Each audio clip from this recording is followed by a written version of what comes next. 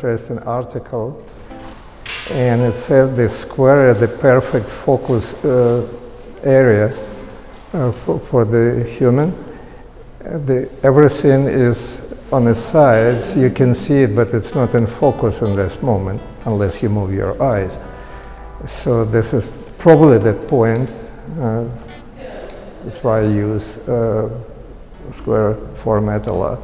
I'm taking picture, but uh, with my background as a graphic designer, and I was painting, used to paint a lot.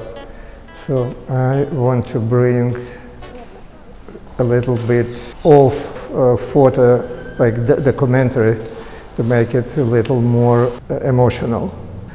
I'm playing with that stuff. It's always risks to overdone it, but thank God it's digital era, you can fix it. So it takes some time, time. Sometimes it works just like that, quickly. It's very unpredictable process. Sometimes uh, I come back like in two years and three years, and I, uh, to the, my photographs, and uh, I start to look them with a fresh eye, and I realize how could I miss this one, for example.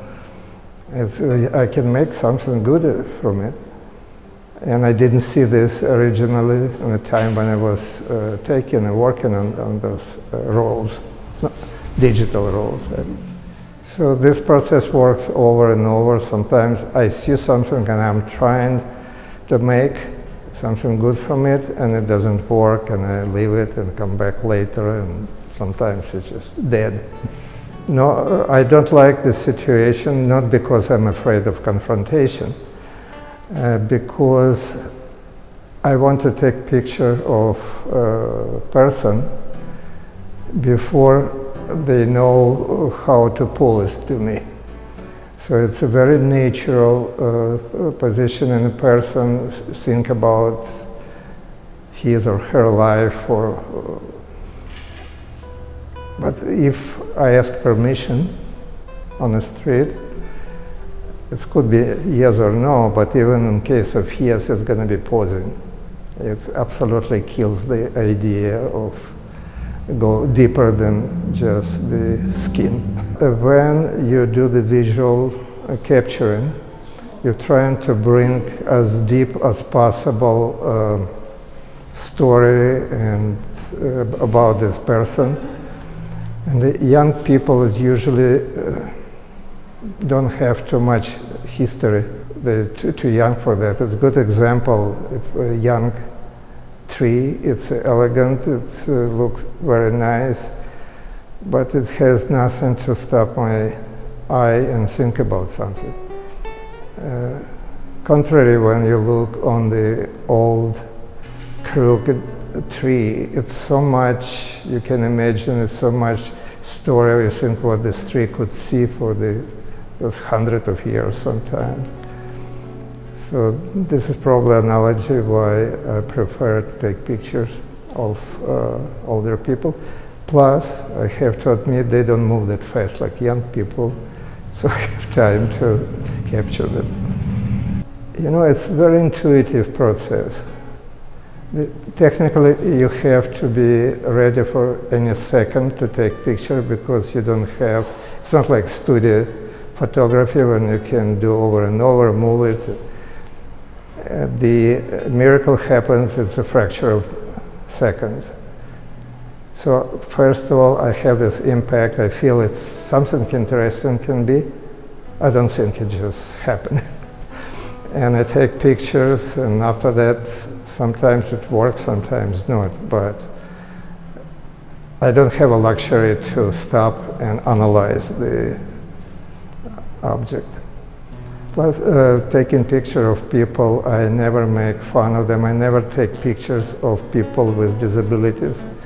Not because I don't respect them, uh, or homeless people. I don't do the political photography and, or social. And for uh, my understanding, there are two easy targets, and it's just um, entourage, it's not what's inside it. So I always respect people when I take picture of them, even they don't know about it. So I have a few photographs which I call the lucky accident.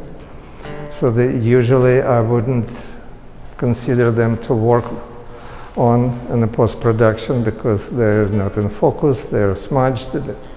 But actually, I have to give credit to my wife. She took this with the iPhone. In the car, it was raining, and the car was the road was very bumpy. And she looked at that and said, oh.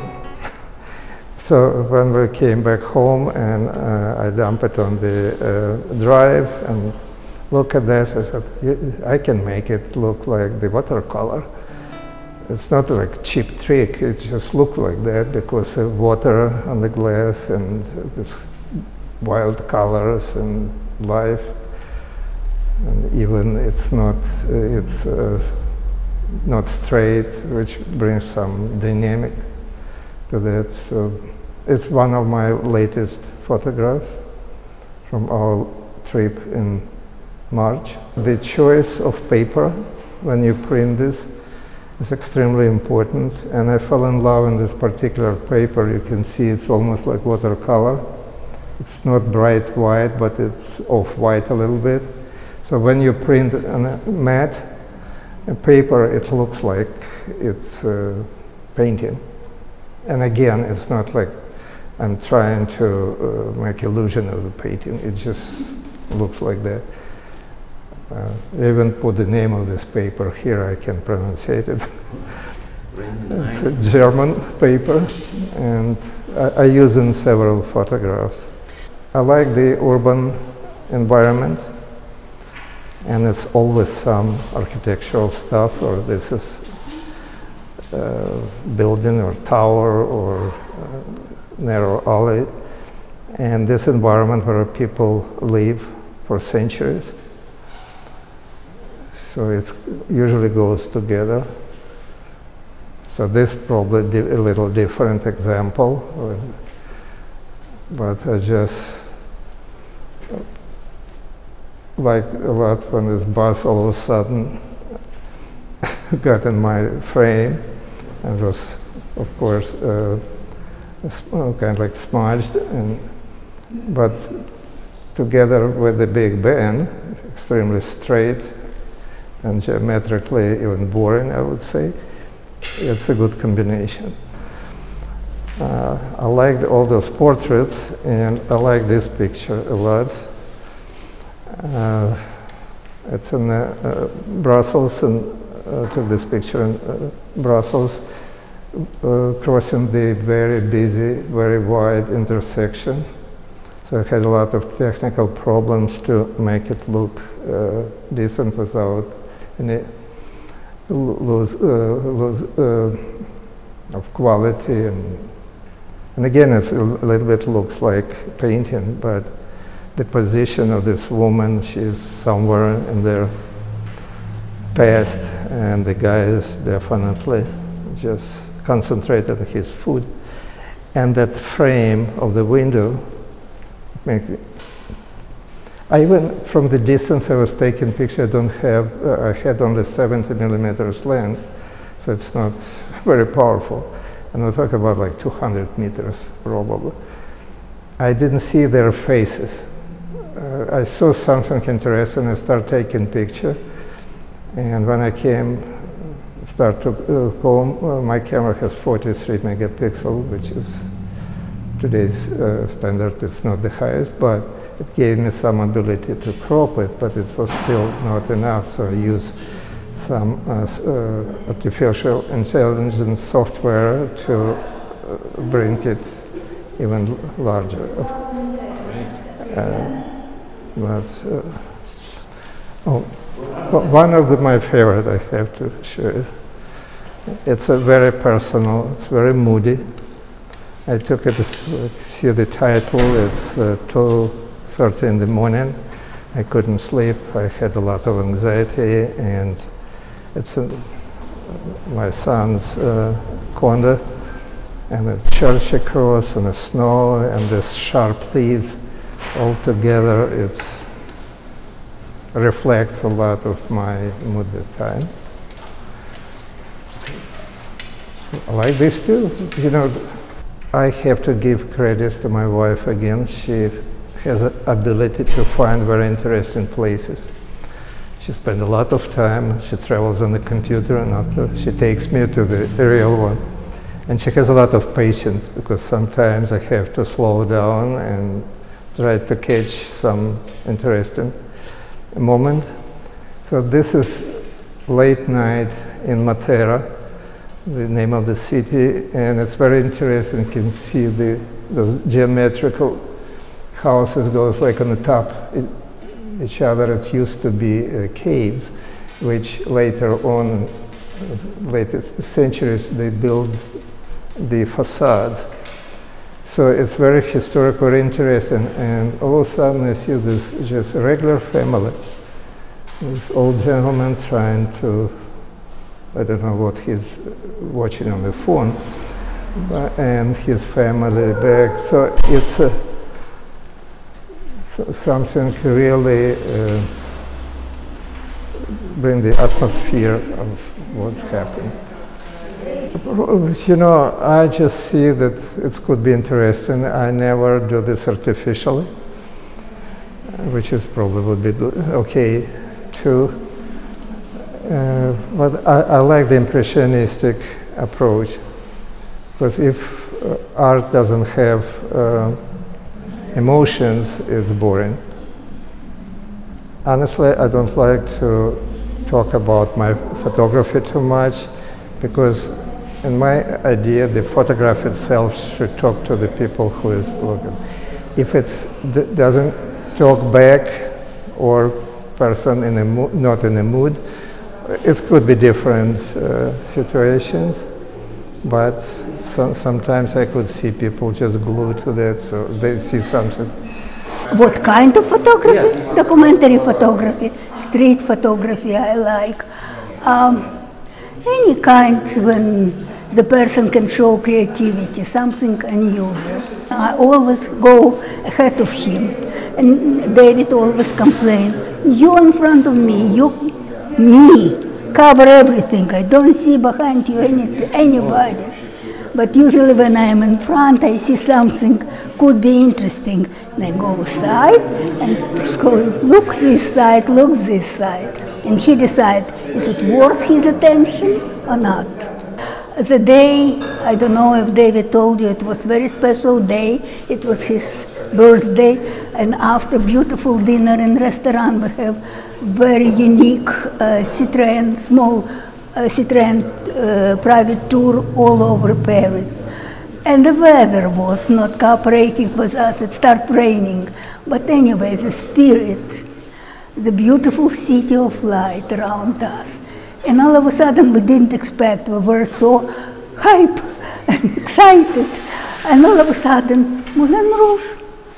I even didn't, didn't have anything in front of me. While I get my phone and start filming, we already start moving with Stanton red light. So how it happened.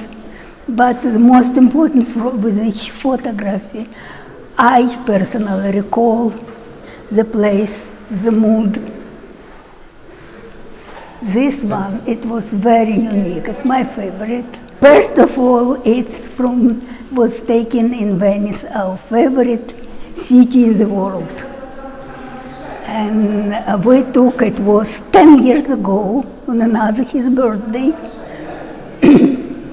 it was March. The weather was again not cooperating. It was awful, raining flood in Venice. But nevertheless, we didn't sit at home. We went for a walk. And you know the gallery in San Marco, and only one restaurant was open, and the music in the small room was light, and they play. And we walk under the rain. David took camera with one hand, another hand he hold me and we dance. And it was magic. This one, it was late evening at the beautiful town Le uh, Lecce. in southern, in Puglia of Italy. Uh, narrow street. People just passeggiata. They talk. And I, honestly, I didn't pay attention. All of a sudden, David stopped. Took, it, it takes second to cut the moment. And he was taking this picture. I even did notice them. David has beautiful eyes. He can notice something that majority of people pass by. That is called street photography. It people taken off guard. Not, nobody posing. The real, real life.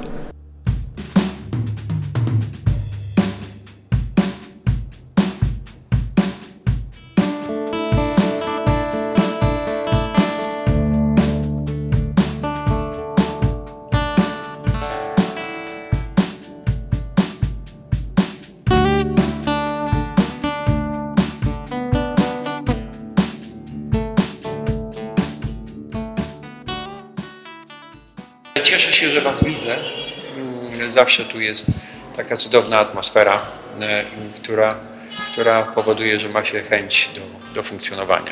No i do uśmiechania teraz, do kamery. A my chyba właśnie e, dlatego mamy taką przyjemność zrobienia tego, że tacy ludzie nas odwiedzają. Wystarczy chcieć i być. Ej, Jaka była geneza? Jak byście wpadli na to, żeby coś takiego zrobić? Bo rzeczywiście w tym naszym e, małym środowisku e, e, w sumie nie było takiego miejsca i gdyby mi ktoś powiedział, że coś takiego e, e, chcecie otworzyć, to bym może nie powiedział, że to jest ryzyko, ale bo na pewno bym tak ucieszył się i z radością przyklasnął, jak e, Marta otworzyła Art Nest wszedłem do Artnest i pytam się, dlaczego Artnest? A no bo ja to lubię, jestem muzykiem, jestem, e, e, raduję się tym. Natomiast tutaj właśnie jest to, jest to możliwość e, spotkania fajnych ludzi, ale taka koncepcja w tym naszym takim troszeczkę skostniałym środowisku była taka bardzo rebeliancka i wyszliście z otwartą przyłbicą, z mieczem. Gratuluję Wam w, ta, w takim razie. Teraz, jeżeli do kamery, to z tego miejsca chciałem złożyć gratulacje i podziękowania ze środowiska, środowiska polonijnego tym oto cudownym dwojgu ludzi z parasolem radości i szczęścia.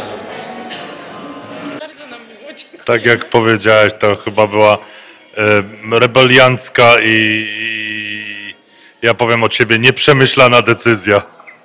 Ale doszło do tego, że no dzisiaj nie chcielibyśmy inaczej, żeby było.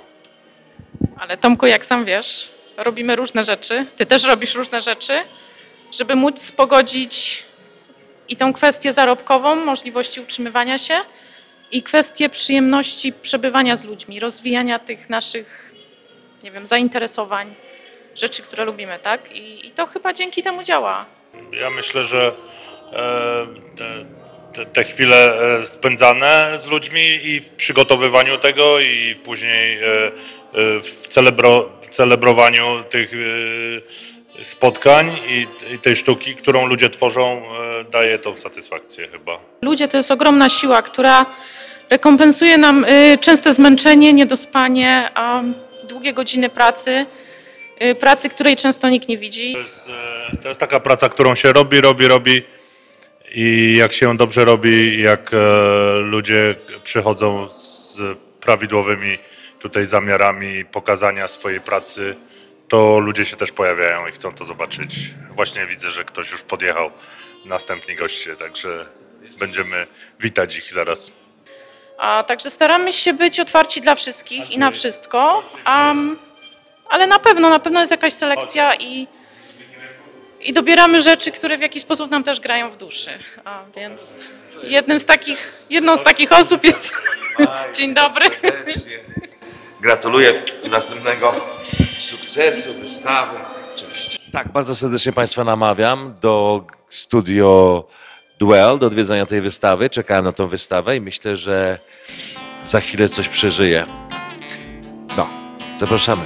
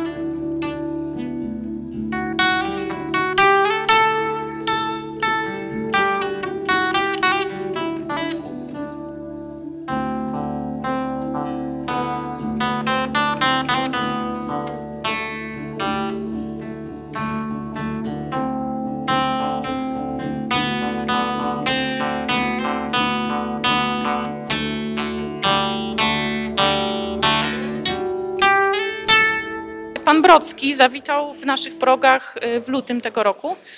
Y, Jego dwie prace były prezentowane podczas wystawy y, Kawa. Jest to taka organizacja chicagowskich artystów po 60 roku życia.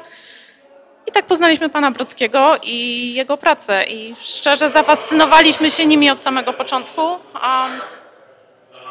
A... No i jesteśmy tu dzisiaj. We'll, uh, I guess we'll start with this photograph here, Breaking Through the View. I first saw it at a gallery in Evanston, a perspective gallery. And they had uh, a survey where you could vote what's your favorite picture. And somebody had already picked another picture. I said, well, this is clearly the best picture in the show. It says he captured a moment in life here. You can tell they don't know the photograph's being taken. Sorry. But it's just, uh, yeah, no, it's just, it's such an extraordinary picture. It's really, it's like a painting. Look like they're both retired. They've been a couple for a long time. Maybe their kids don't live in the house anymore. It's just, uh, I don't know. It's a moving, moving picture. It's extraordinary. I wouldn't say like his skill. He's a skilled photographer. He really knows what he's doing. There's another picture over here in the other room there called uh, uh, Lost Toy. Oh, there's a few pictures here. This one's uh, this. This I like this picture too. Actually, the green pond because he's just capturing a simple moment here. I mean, it's just it's the dirty river, but he just captured somebody's just just somebody daydreaming. You know, it's, it's just great. I love the, the slight, the, it's not bright color, it's just a dull green, but it's just, uh, the composition is great. It's just uh, extraordinary picture. This is good. I like this. That's a classic uh, shot. Where's that? Oh, in Germany, yeah. Forgotten Toy. This picture here is just, uh, it's just extraordinary. It's almost like a Fellini film, almost. Still, it's just, I mean, he just captures it. It's, it's in uh, well, Springfield, Illinois. Another one looks like a painting. He's got great composition there. I love how he captured the color, he captured the cat. The tree's almost coming alive like it's a person, almost. Yeah, it's an uh, extraordinary picture. Uh, I love the one, we'll go over here and look at this one with the jazz in Italy, in Venice, Italy. This is just capturing in the midnight. midnight I'm a photographer myself, and I've, I've uh, taken a series of photos of musicians, so I guess it would appeal to me. But he just captured. I like how it's blurred out. I like that actually. Doesn't always have to be in clear, but it's just he's captured a moment of life there. It's like. Uh, do you like this? it sets forward the imagination, like, well, I want to go there and I want to be in this moment here. That's what uh, it looks like a painting. Yeah, I mean, pictures don't always have to be in focus. They don't have to. It could lead to the storyline that it's out of focus. It's because, uh, yeah. Yeah, as a photographer, his name is uh, Saul Leiter. And he had a knack for uh, capturing the mundane, and he has a bit of that here. He just captures some extraordinary moments in life. I'm really, really impressed by this work. I really am. Uh, any photographer can get the, you know, maybe a dramatic shot, but you have to capture the the soul of the moment. You have to be. You have to always be ready to take the picture. You might not always capture what you your eyes going to see at the moment, but if you're always ready to take the picture and just. Uh, always if your, your your best camera is always the one you have with you. So whether it's your iPhone or your Nikon or your Pentax or the soul of the photograph. He's captured the soul of the moment, that's what he just has an eye. He just you either have it or you don't. You can be the most technically proficient photographer on the planet and know everything about every paper and every camera gadget, but you either have it or you don't. And uh, it's, uh, So I've seen I've seen amateur photographers take some extraordinary pictures. My father, who wasn't not a photographer, but we have old photographs of, of him from when we were kids, and we're looking back through them. Like, wow, he had an extraordinary eye. Mean, extraordinary pictures he took. So yeah, it's just uh, so you have to love it, you know. And if you take enough photographs, you're just gonna get your brain is just gonna be trained to just get into the moment and uh, be ready with the camera. You know, you know, you know how to have your camera ready. It'll be something. I mean, getting your camera out will be, will be second nature to you. You've done it so many times, so I guess that's part of the skill. That comes with the skill and the sharpness, and you learn. And and So, and I have to say, I shot film for many years, and I loved it. But with digital and uh, film photographers, not gonna like this, but man, it just makes things a lot easier. Because you can take so many more photographs and save a lot of money. Because film is great, I love it, but it just costs so much, especially now. It costs more. It cost a lot when I was doing it, but now it's really expensive. So if you can shoot film, it's it looks different. Yeah, you know that. I know it's my sister. She's also a photographer, and she's a pure. She'll only shoot film. She won't shoot digital. I knew. I know a few photographers like that, but uh, I've kind of I've moved over to digital now. I still take film once in a great while, but it's just when I can afford it. Digital will forgive you because you can correct your errors a lot more easier than you can with film. Well, I remember I do. I remember being in the dark of the film and playing with the photographs and do the dodging, and I do miss that actually. It was great fun. It was great because you, the, you know, the end product was uh, enjoyable. But uh, yeah.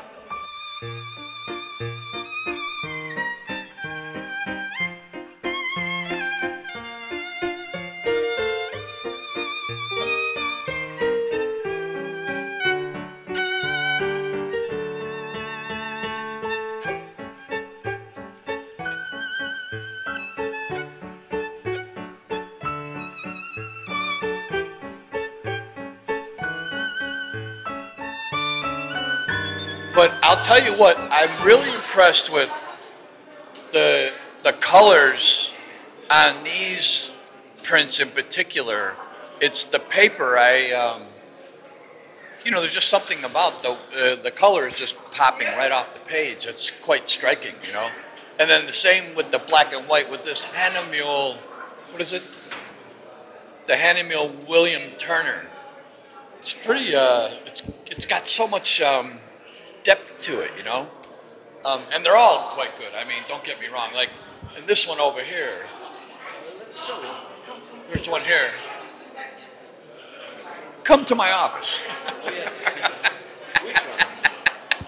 This one here, you know, it's just one of those ones. It's it's on uh, quality archival paper, but from across the room, it looks like a painting, you know.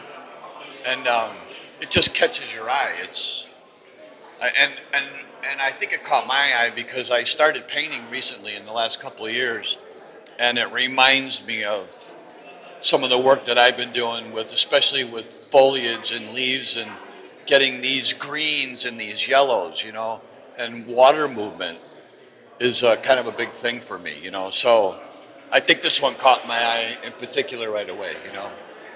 And this one here, I love this one, the city life. This is a great capture right here with the um, of him photographing who knows what it is going on over here. You know, it's like a dance party or a, a child, you know, screaming. you know, you can use your imagination, you know, but this it's a great expand. And I never heard of uh, Matera. I, almost, I should have looked it up on the map before I started talking to you. But this is another one with the. Uh, oh, this is a different. Um, process, right? The crystal archive. You know, it's just, it's got a lot of life in it. Yeah.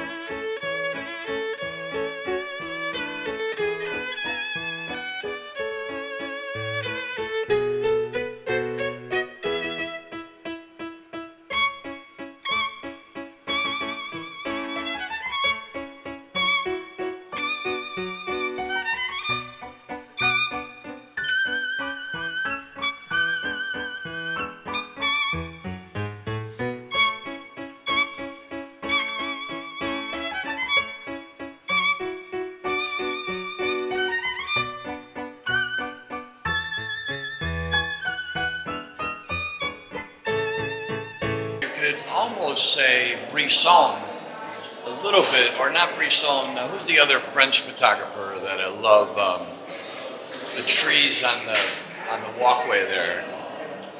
Um, and I have a friend in uh, in Los Angeles, uh, Phil Parmet, and this photo in particular reminds me of his of his work. You know, and the colors. I love the colors, and also it's in Montpellier. I have great memories of uh, holding the mic away.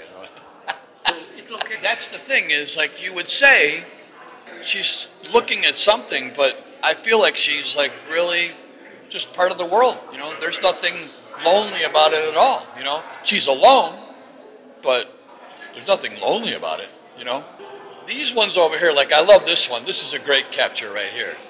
This almost reminds me of The Sopranos. You know, the TV show. You know, you can see those guys in the back room easily. But how he caught that, that's great. He just walked by the window. This one, you know, and the guy sees him just a little bit, but it doesn't interrupt anything. It doesn't take anything away from uh, from this great little moment that he got here. And then it's funny, it's set up right between these two right here. And I love these. I love photographs like this of uh, architecture and angles and right angles and the light, you know, the light going from the light to the light to the light. I could paint something like this. This would be something that I would put my brushes on too, you know. And this one too. And the other one that I really love. It's just the only. I mean, I love them all. But I just well, that one's magnificent. That one there. But that reminds me of uh, William Wegman, you know, or a little bit of Hopper. But then the Hopper one, there is one that really reminds me of, and the, it just strikes me. It's like there's something about it. You get into the eyeball here, and you can see the whole stable reflected in the eyeball. It's really quite a. Uh, and the simple colors being trapped between the two red bars, and then mixed in with the untold amounts of shades of brown. That's a really great photo. I, lo- I just love that one. That's a great, that's a great, great photo. But it's on that, um, well, this is the archival digital, right. But the the subtle colors, you know, they're just, it's, this is a great one. I, it's unusual, it's very unusual. But then, of course, this one over here, the Marrakesh, this is, this is probably one of my favorites because there's just so much detail, so much life in this photo, right? You've got this contradiction of the brand new clean blankets, then this old, old wall, and you know, who knows how many thousands of years of people walking up and down these stairs, right? And then you look in here, you got all this dirt and cigarette butts and bottle caps, you know, and then the two juxtapositions of the colors, and then the wires. This is what I love about going to um, Africa or India or something, you know, like a place like that where you just see these impossible configurations of uh, electricity. You don't know how does the power even work, you know? But then my favorite part is look at this little detail. Here's a Vespa right here, parked up here in the little balcony next behind it. Isn't that amazing? And you're like, how the hell did they get the fucking Vespa up there? You know? Yeah, yeah. Right? And then this little painting right down in here. But and this is when I looked and I said, it is this Hahnemühle uh, uh, William Turner paper. This stuff is a this is really good paper. He made a great choice.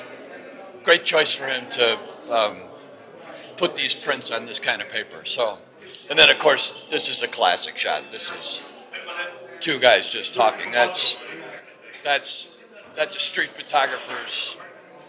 Any street photographer worth his uh, salt is going to say. That's that's that's a great. And the and these three, I love these old senior citizens over here. They remind me of that movie. What's the movie with the three old guys that robbed the banks?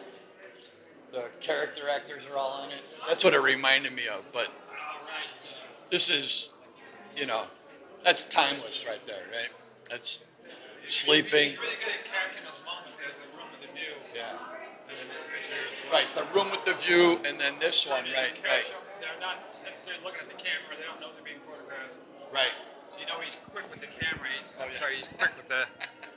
Well, it's interesting. interesting. He and And this, this one one as well as well. of, The uh, family talk. It's uh, This is great. And extraordinary. These, two, He's so good at that. these, these three in particular remind me of my friend Michael in uh, Los Angeles, the street photographer that I know. Dressel.